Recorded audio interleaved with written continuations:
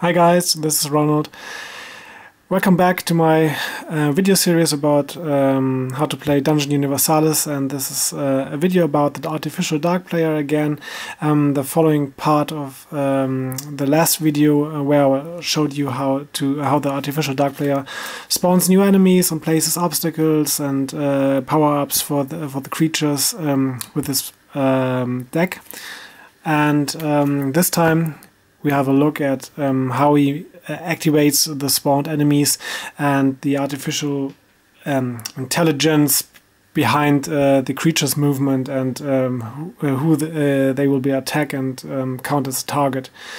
And um, yeah, if you um, browse through the game material, you will see there's a special reference card for exactly this, creature activation, target selection, and there are special AI cards for each type of an uh, of um, a creature of the um, of the uh, of the dark player uh, or the artificial dark player to be precise, and we have melee fighters, ranged fighters, sorcerers, undead, and so on and so on. We have a deeper look in a few minutes, and um, yes.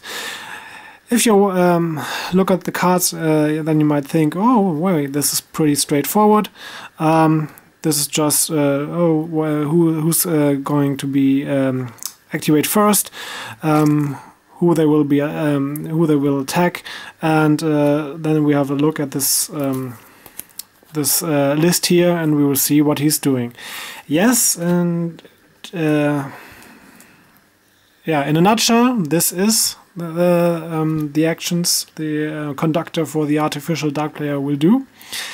But it's um, as uh, um, um, on so many times this uh, in, in Dungeon Universalis, this is not enough. There are more rules you have to know about and you are, have to be aware of.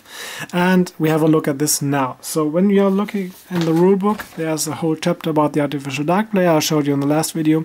And there are also pages about um, specific behaviors where you um, yeah, you get an explanation how to use the um, AI reference cards. Um, so we can uh, put this away for the moment. And this page is much more interesting. It's about the general behavior of um, the characters and creatures of the artificial dark player. And this is a lot of stuff. Um, these two columns. And there are many uh, fiddly um, rules in this. You should have um, read this carefully. And the play the game is playable without it. So that's not the point. But um, there are many um, rules in this that makes the game much more um, interesting or uh, a, a, little bit harder. And so you should be aware of this. And let's have a look what's going on here. Some of these rules are already worked um, in the cards, in the reference cards, but not everything. And this is where we are going to look now. Um, um, but before we are doing this, we'll, um, we'll go back to the reference card for the target selection and the creature activation. And let's see, let's make it, um, let's start from the beginning. Great idea as always.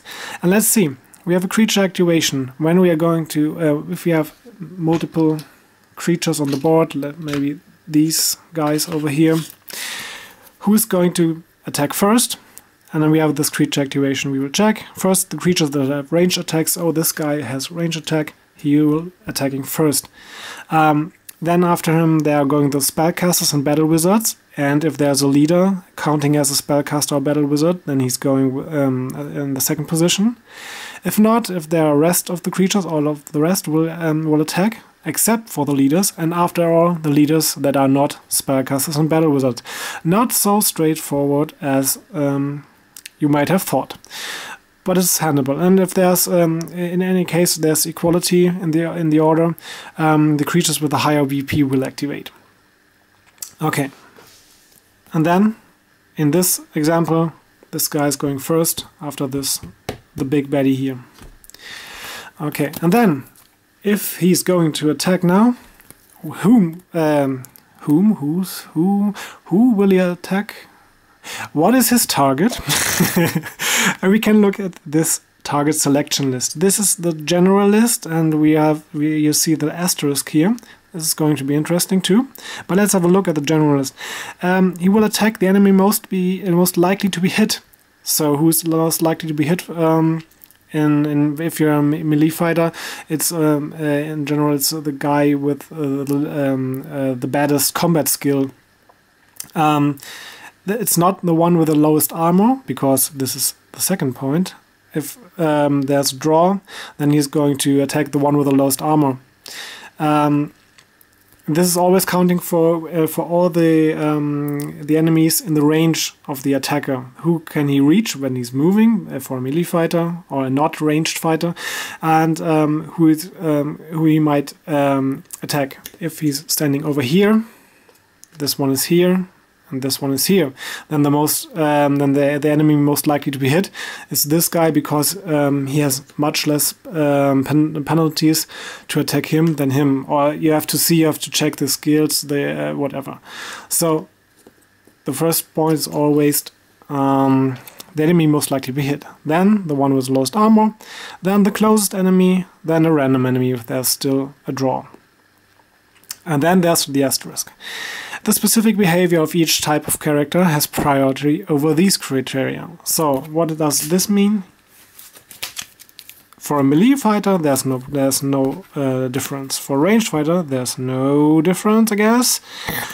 But if we have a look at um, maybe the undead, he has an own target priority that will override the other one. So he the, the undead is always attacking the nearest enemy because um, this is the point where the artificial dark player is not trying to simulate a real human like um, I told you in the last video with the cards he's trying to act like a human or maybe he's trying to simulate a human dark player. In this case the AI is doing more. The AI is trying to give you a more immersive um, experience and so creatures are um, acting like uh, you would expect it from its kind. So undead are, are acting like undead, and maybe uh, well, well, the animals. We have AI cards for animals, and they are acting like you would expect, might expect from an enemy, because they are also attacking the nearest enemy. They are dumb kind of dumb.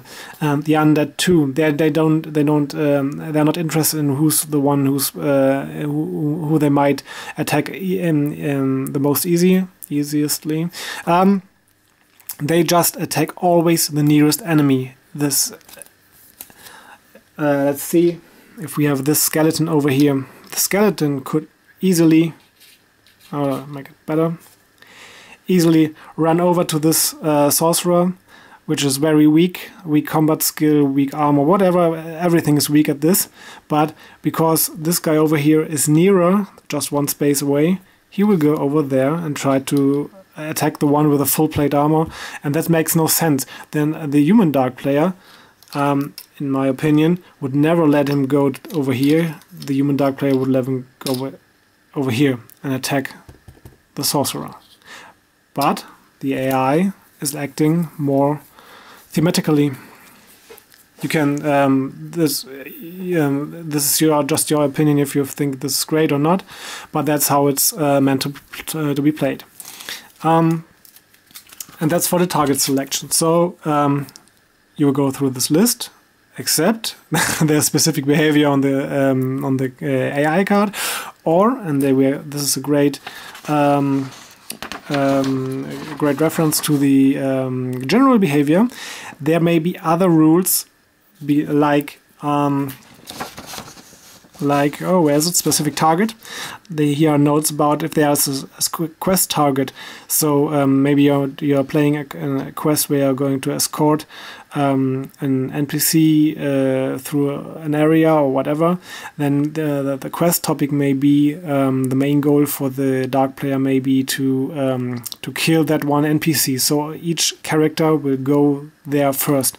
So um, he will try to um, to disengage or whatever. No, no, no, they will not try to, to, disengage, but um, um they will always going to uh, try to kill this NPC if this is the quest target. So on top of this um, target selection, you could um, uh, uh, uh, on, on position zero, check the quest target, the, the quest goal, and then go for the enemy mostly like to hit, and so on and so on and so on.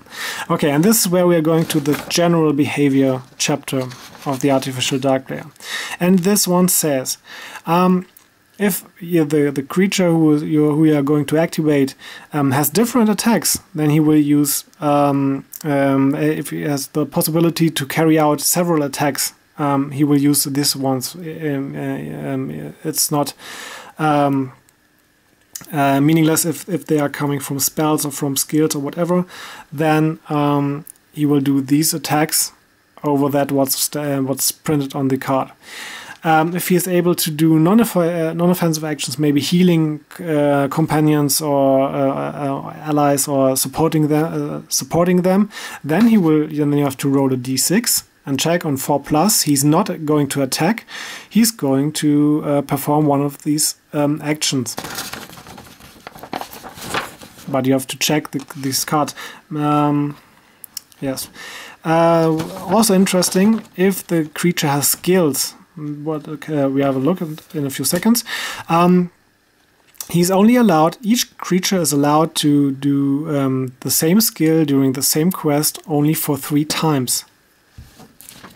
For example, let's see, let's pretend this is an ogre. And we have um, the card for an ogre here. One moment, I'm sorry. It's over here. We have this ogre card and it says the ogre has the skill onslaught. Onslaught is an active skill. Here's the card. You can see the, uh, with this icon. This is an active skill. Um, a passive skill might be something like you gain plus one perception or something. This is something a skill you don't use actively, but this is in, um, usually uh, um, combined with an, as an action or uh, uh instead of an attack or whatever. And then this is an active skill and you may use this onslaught action only for three times for this ogre. If there's another ogre, then you have to count that um, in, uh, independently. So this ogre and the virtual ogre standing next here. Oh, well, I have one. Other. So this ogre can do the skill for three times. This ogre can, and you have to count it separately. Okay, this is skill limit. Um, disengaging, okay. Then we have these. Um, this not very straightforward rule of maximize the potential. The conductor has always to check um, what's the best um, decision the creature could make in uh, in, uh, in its activation and then do this. So it's uh, meaningless what's printed on the card.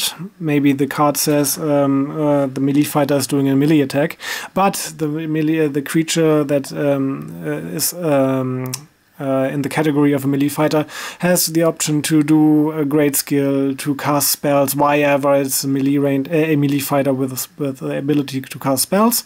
Um, but let's pretend it's, it's it could be possible. Then you have to do this.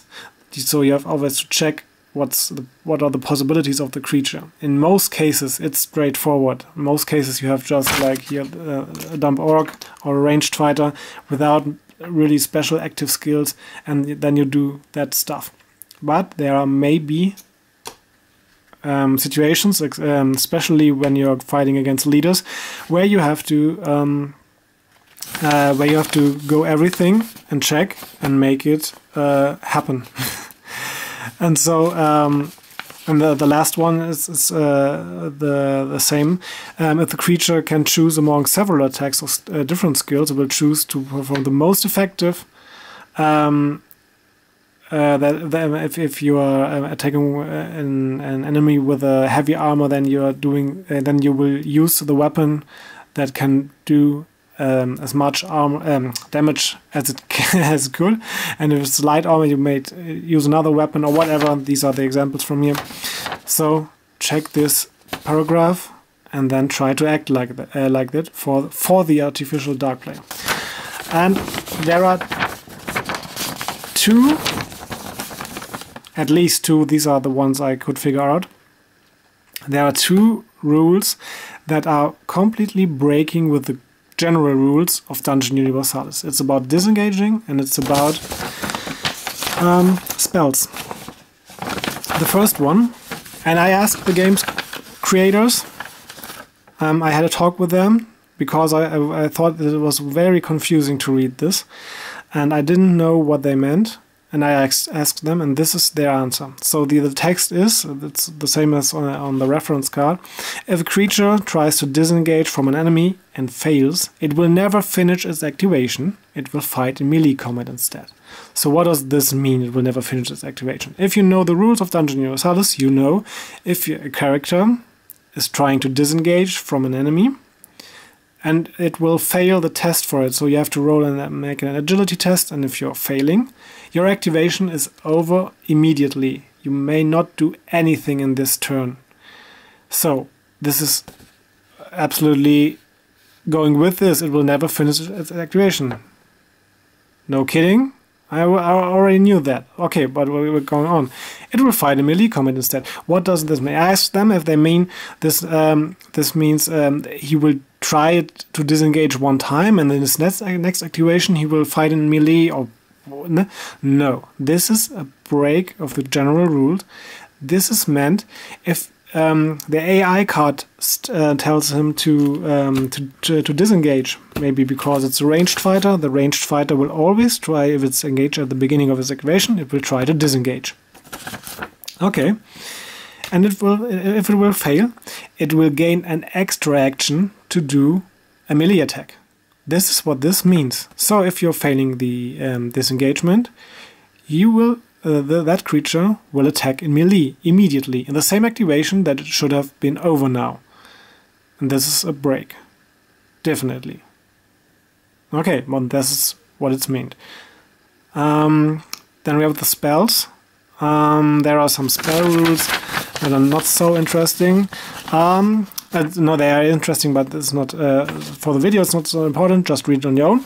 Um, if a spellcaster casts a permanent spell effect um, while he was upkeeping an active spell, the effects of both spells will be maintained. So this means he can make uh, he can raise a second elementary or whatever um, or at, at, at least may um, have two permanent spells at the same time. And this is also a break with the, with the general rules of um, spells, because the general rule spells say, and this accounts for um, for the heroes, for the mercenary spellcasters, and for the human dark player spellcasters, because they are the, these are the rules only for the AI spellcasters. So the the human dark player, if he has a spellcaster, he's he has to follow the general rules.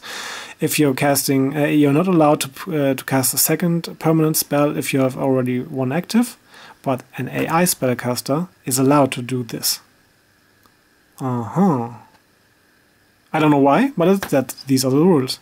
And I asked, also asked for this, and it's absolutely that what's stated there. you have to know it. You sh- and, and uh, at least you should have to know this. Okay, and these are all the general behavior rules. There are some I've left out um, because they're not so interesting, but you have you should read them. And um, yeah, this is um, the basics of this, and I have not much more um, prepared for this. I, I'm um, I'm going to show you some more examples now from the AI cards, and I think then we are done. This time not 40 minutes, great. Okay, let's see. Okay, we have an AI card for melee fighters. Um, they are going always to, going to um, to engage enemies and to um, and uh, to attack them uh, in melee. Not that great surprise. Um, the opposite is a ranged fighter. Enemies with a ranged fighter icon are always trying to stay out of the um, out of reach from uh, the other from the enemies and to attack from range. No surprise here too. And if they are engaged, they always try to disengage. Um, there may be large creatures, and large creatures have a setup here. Um, they when they are when they are placed, they you have to roll a three d six, and then you may um, upgrade them with special skills.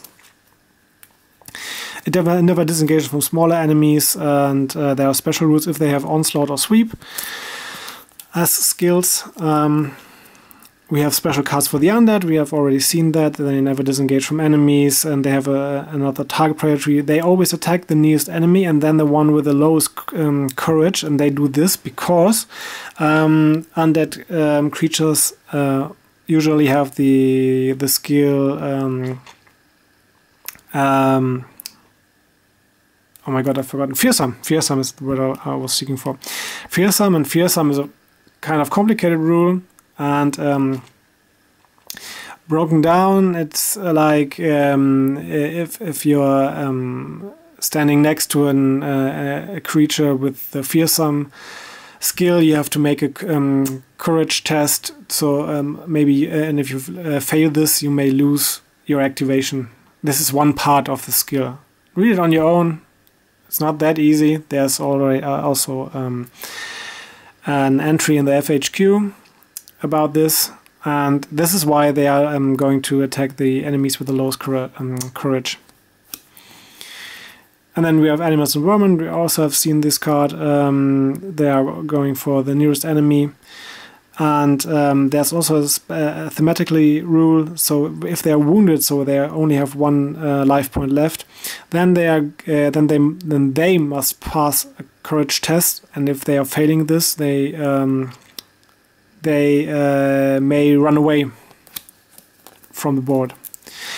And then we have also we have sorcerer rules. and they are a bit like uh, ranged ones, so uh, staying out of the melee. And um, you have to roll one d six when you're activating this, and um, to see what kind of skills they are um, trying to cast, and so uh, a lot of more um, magic-related rules. Uh, so they always try to dispel and uh, and to use uh, mana potions and so, and um, yep, we have special um, a special card for flying creatures. We have uh, a special card for battle sorcerers, for um, enemies with the skill berserker because they have um, also um, um, uh, the Berserker skills um, have some requirements, and this card is going to try to, to make it easy for you to follow them. Uh, Battle Sorcerers are, are uh, a mix of, um, of uh, Spellcaster and Melee Fighter. And, uh, and then we have the leader cards, where you're also like large creatures, you can upgrade the leader when you're placing them. Then you have the rules for upgrading the, um, the hit points, the vitality points of the leader when you're revealing the main room. He may gain, uh, gain more actions than normally. Normally they will have one action and then, but they maybe have uh, up to two extra actions. And why this? Um, I will make uh, a dedicated video about this. Um, this doesn't belong here, so just accept it. You have to give them, uh, you have to give them um, extra actions. Uh, so they can attack more often or cast more spell, uh, spells more often or whatever actions. And this is Rasbal card for the uh, campaign boss. He has a special card. Alright, and that's it. We're done with this. Um, there, I guess there's nothing more to say for the moment. I'm really impressed about myself. I've uh, done this um, in under 30 minutes. And um, yeah. Oh, one last one last thing. There's always the last thing. Like in Dungeon Universalis, you have always that one extra rule I will have this for you. How you will like it, I hope. I have uploaded this to Dungeon, uh, to Dungeon, uh, I've uploaded this to Board Game Geeks. These are my AI creatures rework rules. Um, I try to um, to rework every creature card, every so a replacement for these cards to make it easier to read and easier to follow and to add more from the general guy um, general um, behavior rules. So you will always have this non-offensive action uh, um, um, as a first type of attack if a creature has a non-offensive action. And um, there are also rules that if uh, um, a creature has a spell um, he will cast the spell over melee. Even if he is a melee AI type, he will use the spell.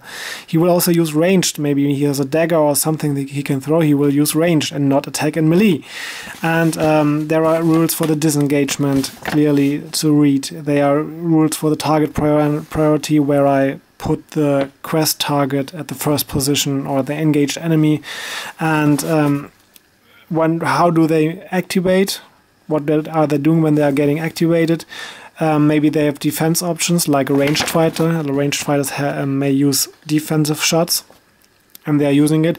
How do they act when they are um, pushing an enemy or they are able to push an enemy? Do they, they are they going to do this or not? And whatever. I have done this for all the creature types except for the leader at the moment. we have a sorcerer over here. We have battle sorcerer, animals. Ah, yes, this is the rest. Berserker flying, undead. Everything's here um, you can download it at BoardGameGeeks. And um, yeah, I hope uh, you, um, this will help you because it's really, really straightforward. You just have, if you're going to activate an undead creature, you will just uh, set up, okay, I've already done this, but then I will use this, this, and no, it's not disengaging because it's not engaged. For me, it's much easier than to read the AI cards and um, to think about all the general behavior rules we have and this is much more straightforward. At least for me, and I hope for you too. And with these words, I'm going to finish and to end this video. Uh, thanks for the subscribers. Many greetings to all the new subscribers. I'm very, very impressed um, that I've reached over 150 um, subscribers. Um, thanks for your attention and thanks for your comments. Uh, please rate the video up or down so I can see I'm doing my job good or not. Um, as always, I'm going to tell you now that please always read the rules on your own. I'm doing these videos just for uh, as an addition for them and not as a replacement. Um, if you're going want to play Dungeon News Universalis, you always have to read the rulebook at least once, and uh, um, I think at least three or four times. But you will see. Maybe you're much smarter than me. Thank you again. See you. Bye bye.